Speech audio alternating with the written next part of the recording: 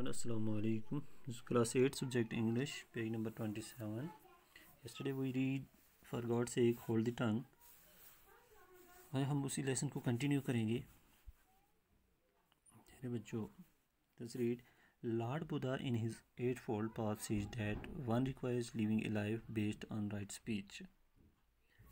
بھگوان بدھ نے اپنے آٹھ اصولوں میں کہا ہے کہ انسان کو ضروری ہے کہ وہ درست الفاظ اپنے زندگی میں اپنائے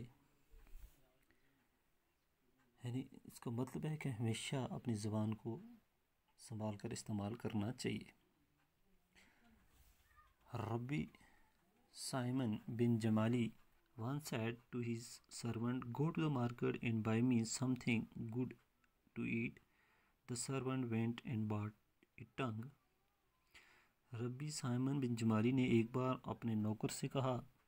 بازار جاؤ میرے کھانے کے لیے کچھ چیز لے آؤ نوکر چلا گیا اور زبان خرید لایا آن اندر اوکیجن دا ربی سیڈ دا ربی said go to the market and buy me something that is not good the servant went and bought a tongue once again this time the ربی said to him angrily what does this mean when I told you to buy something that was good you bought a tongue now when told to buy something bad you bought tongue tongue again یعنی ایک دوسرے موقع پر ربی نے کہا بازار جاؤ اور میرے لیے کچھ ایسا لاؤ جو اچھا نہ ہو نوکر گیا اور ایک بار پھر زبان خرید لایا اس بار ربی نے غصے سے پوچھا اس بات کا کیا مطلب ہے جس میں جب میں نے تم سے کچھ اچھا خرید کر لانے کے لیے کہا تم ایک زبان خرید لائے اب جب تم سے کچھ برا خریدنا خرید کر لانے کے لیے کہا تو تم پھر ایک زبان خرید لے آئے ہو لے آئے ہو the the servant servant replied replied from the tongue issues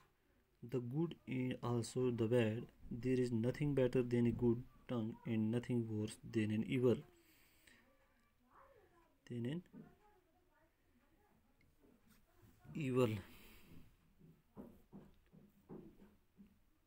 an evil one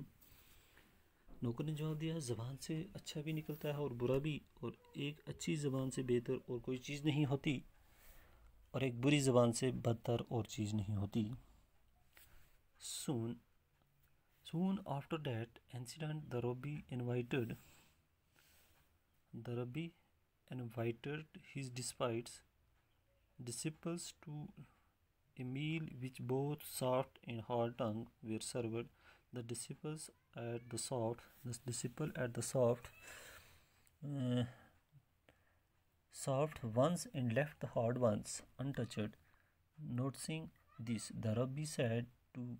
his disciples, As you choose the soft tongues and reject the hard ones, so also use only a soft tongue in your conversation with one another with one another in in this context quotation by Quarles is worth mentioning give not the tongue to great levity. lest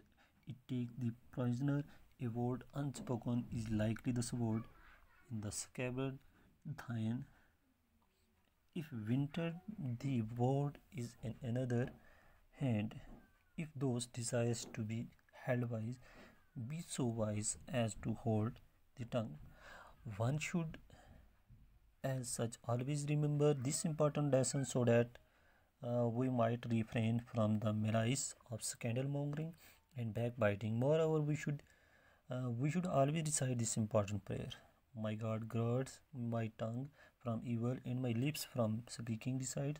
be my soul silent to those who reproach me be my soul humble to all all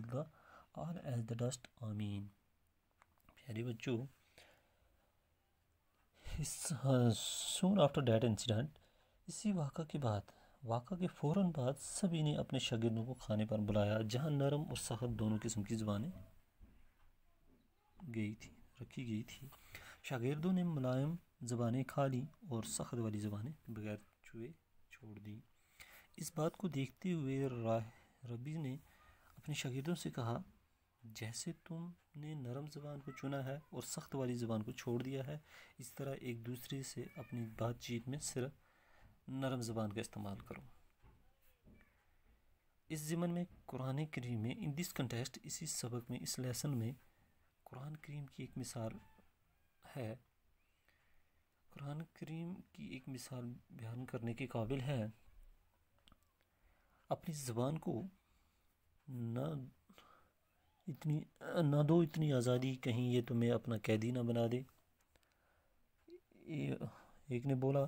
لفظ ہوتا ہے ایک ناگفتہ نہ بولا ہوا لفظ ہوتا ہے درمیان میں رکھی تلوار کی طرح بول دیا اگر تو تمہارا الفاظ چلا جاتا ہے کسی دوسرے کے ہاتھ میں چاہتے ہو اگر کہ تمہیں مانا جائے دانا تو قدر دانا کی زبان کو لو تھام تو اپنی زبان کو تھام لو